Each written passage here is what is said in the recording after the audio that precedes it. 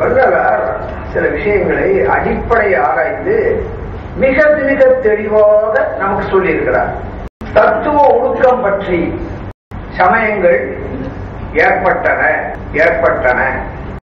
தொழில் ஒழுக்கம் பற்றி சாதிகள் ஏற்படுத்தப்பட்டன. அது ஏற்பட்டன இது ஏற்படுத்தப்பட்டன.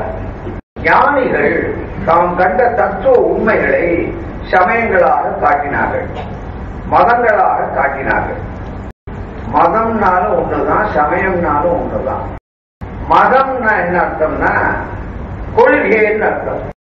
பதி பசு பாசம் கடவுள் அப்படின்னா தத்துவமா சொல்றமே அதெல்லாம் மதம்.